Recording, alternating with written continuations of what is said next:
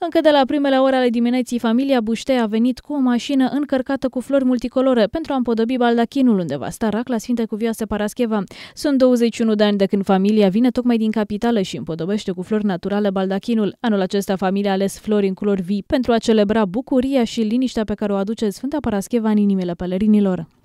Pregătirile pentru cel mai mare pelerinaj din țară sunt întoi. Astăzi dimineața a fost împodobit baldachinul pe care va fi așezată rac la Sfintei Cuvioase Parascheva. Familia Buștea a venit pentru al 21-lea an consecutiv la București cu un camion încărcat cu flori, special pregătită pentru ocrotitoarea Moldovei.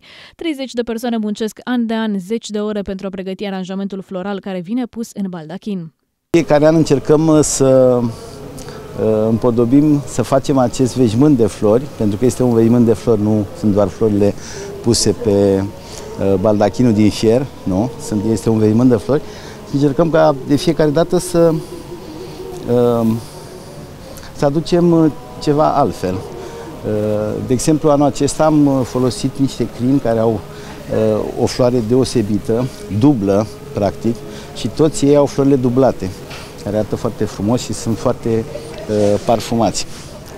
Avem și câteva soiuri de trandafiri în diverse culori, tocmai pentru a face ceva mai vesel. Anul ăsta am ales să fie vesel, să bucurăm pe Sfânta Cuvioasă Paraschiva. Aranjamentul de flori este unul complex și nu s-ar putea realiza fără sprijinul voluntarilor din București, Constanța și Bacău.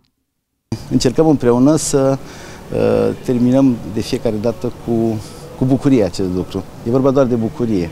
De aia le și alegem așa, să fie vesele, să bucure oamenii, pe toți cei care le privesc și, bineînțeles, pe Sfânta. Și cred că, de fapt, Sfânta așteaptă oamenii așa de fiecare dată.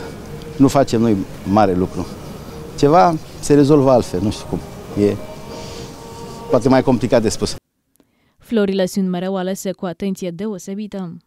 Multe tipuri uh, de flori, printre care se numără trandafirul, crizantema, crin de două tipuri, uh, mai multe feluri de verdeață, eucalipt, aspidistra, și bineînțeles uh, vedeta aranjamentelor, ca să zic așa, această floare de delfinium albastră cu care împodobim și plafonul, uh, despre care majoritatea persoanelor spun că arată ca niște ciorchini cu struguri și le place foarte mult. De mâine debutează pălărinajul organizat cu prilejul sărbătorii Sfintei Cuvioase Parascheva de la Iași. Ne dăjduim în ajutorul Bunului Dumnezeu și a ocrotitoarei Moldovei să avem uh, un pelerinaj binecuvântat anul acesta și în prezența Sfântului Mare Mucenic și Tămăduitor Pantelimon. După citirea acatistului Sfintei Cuvioase Parascheva Aracla cu Sfintele Moaște va fi scoasă din Catedrala Mitropolitană din Iași în cadrul tradiționalei procesiuni.